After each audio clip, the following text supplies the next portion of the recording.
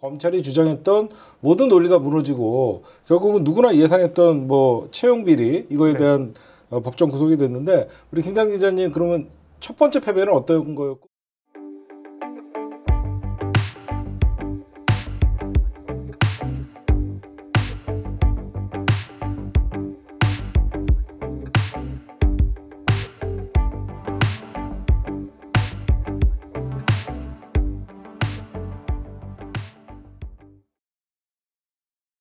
네, 오늘 방송 제목은요. 조국 일가에게 2연패 당한 검찰인데 어, 오늘 조국 동생 어떤 징역 1년 법정 구속됐다라고 하면서 조중동을 헤드라인으로 지금 뽑고 있는데 사실상 이거는 8개 혐의 중에 7개가 무죄가 나왔다. 그래서 검찰이 주장했던 모든 논리가 무너지고 결국은 누구나 예상했던 뭐 채용 비리 이거에 네. 대한 어, 법정 구속이 됐는데 우리 김당 기자님 그러면 첫 번째 패배는 어떤 거였고 두 번째 패배는 어떤 거였고? 예, 그러니까 첫 번째 패배는 오촌 조카 조범 아, 조범동 씨. 씨의 재판이었죠. 여기 네. 보면은 허위 컨- 그 허위 컨설팅 계약을 맺고 회사 돈을 횡령한 혐의 그리고 펀드 출자 약정 금액을 부풀려서 신고한 혐의를 정경심 교수랑 공모했다. 네네. 정경심 교수가 받은 돈 일부를 이 공모해서 받은 거라고 얘기를 한 건데 음. 재판부에서는 애초에 그 1심 재판부에서는 애초에 조전 장관의 오촌 조카가 어, 정 교수와 금융 거래를 한 것 때문에 정치 권력과 음. 검은 유착이라고 얘기를 하고 있는데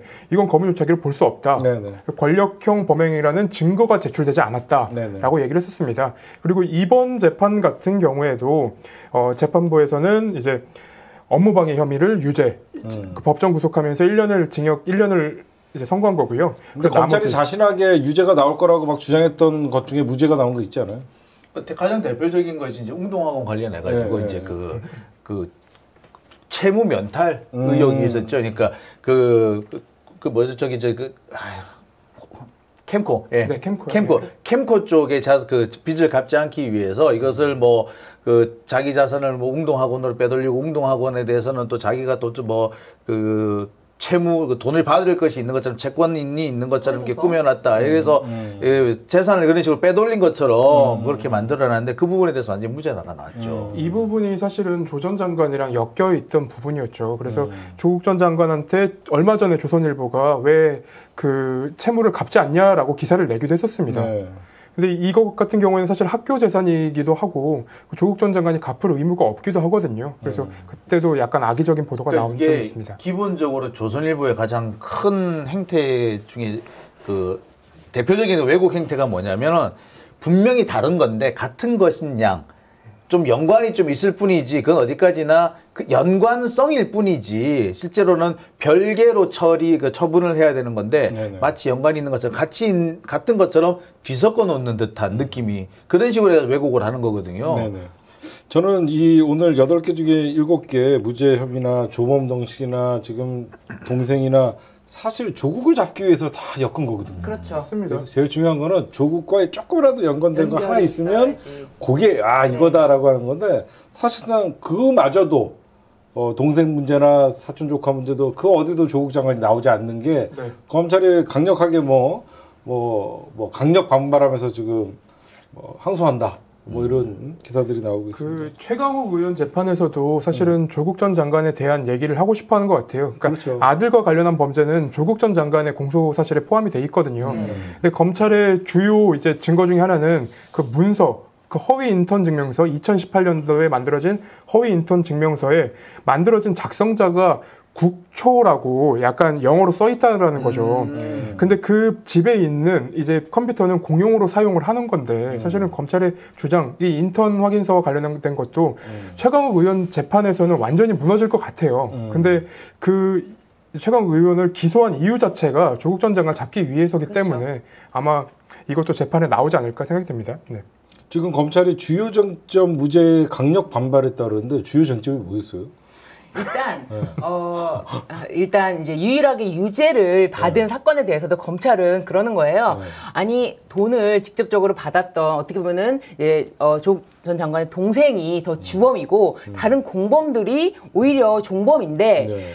왜이 형량이 같게 1년이 나왔냐라고 음. 하는데 재판부가 이런 부분에 대해서 설명을 했어요. 그 부분에 대해서는 어, 조국 전 장관 네, 동생은 이 부분에 대해서 배임 수재까지 인정되진 않았어요. 다만 업무방해죄. 왜냐하면 이분 이분은 자신이 직접 이 사무 관리자가 아니- 법적으로 하면 사무 관리자여야지 배임 수재도 인정이 될 수 있는 건데 네, 네, 이분은 이 배임 수재까지 인정되지 않았기 때문에 네. 한 개의 범죄만 인정된 건데 다른 분들은 다 배임 수재까지 다 인정이 됐거든요. 네. 그렇기 때문에 다르다라고 설명을 했고요. 그리고 뭐 허위 채권이라고 검찰은 강력하게 음. 그 공사 소송 그러니까 허위 공사 공사 비용이 허위 공사다. 그래서 네네. 채권이 없는 채권이다. 그래서 강제집행 면탈이다라고 하고 있는데 법원에서는 아무리 봐도 이거는 어, 채권이 진실할 가능성을 배제할 수가 없지 않냐. 그러니까 검찰이 사실 입증을 제대로 못한 거예요. 그래서 증거 불충분. 네, 입증을 못했고 허위 채권이라는 사실에 대해서 인정할 수가 없고 운동화군에 대해서 손해가 발생하지. 않았다라고 한 거죠. 그러니까 검찰이 자신들이 주장했던 게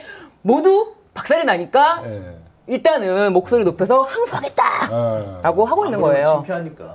이, 이연패 당했네요. 아니 그때 공사 관련해 갖고 건설 현장에 이제 반장님이 나오신 적이 있어요. 네, 네. 근데 그분이 검사님이 공부를 좀 안 하신 것 같다라는 취지의 대답을 한 거예요. 그러니까 공사 현장을 조금만 알면 당연한 건데 왜 이걸 여기 와서 얘기하고 있는지 모르겠다.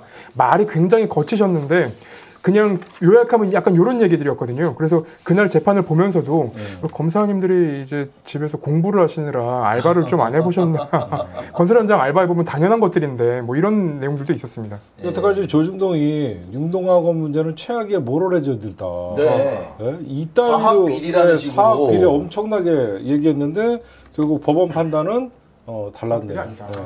그러니까 이렇게 되면은 사- 이 부분에 대해서도 조국 전 장관이 이, 그 고소를 할 부분이 있을 것 같아요. 그렇죠. 요새 보면은 정말 재판 하나 따박, 끝날 때마다 예, 긴장하는 애들 따박. 하시는데 야, 정말 어저 상당히 재밌더라고요. 옆에서 보기가 재밌어요. 그러니까 아마 그리고 또 그런 얘기도 하시더라고요. 어떤 분이 이 사건이 이제 조국 전 장관이 이와 관련된 소송을 자- 따박따박 진행을 하시면 일정하게 이 명예훼손 소송에 대한 포맷이 나올 것 같다. 어. 그래서 거기다가 사람 이름만 바꿔놓으면 웬만하면 다 됐게끔 그런 포맷이 나오지 않겠느냐.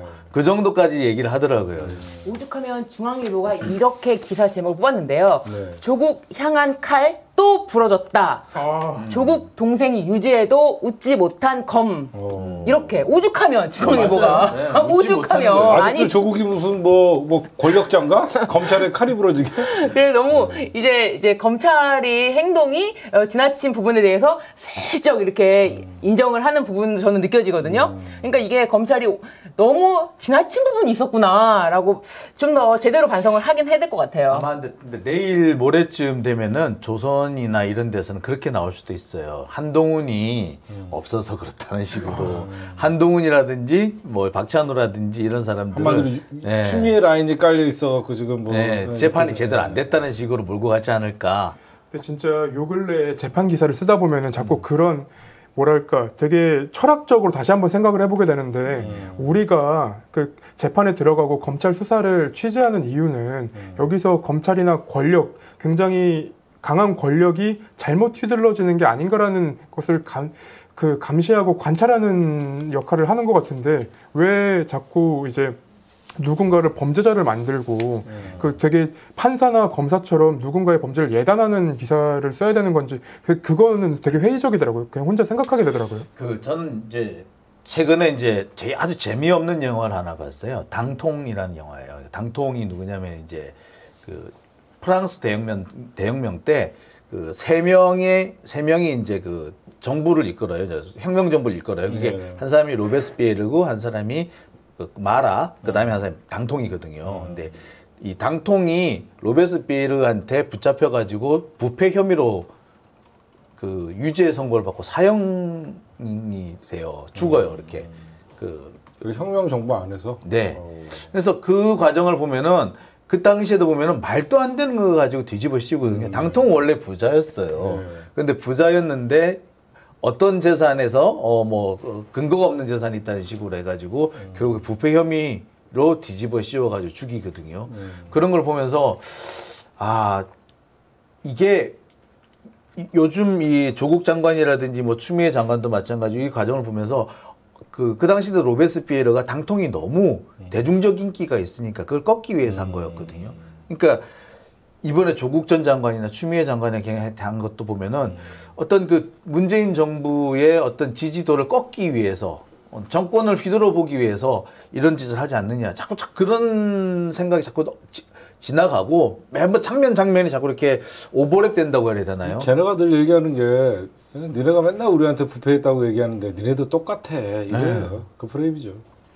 네, 어쨌든 조국 장관님, 정경수 교수님 빨리 어, 건강 좀 회복하시고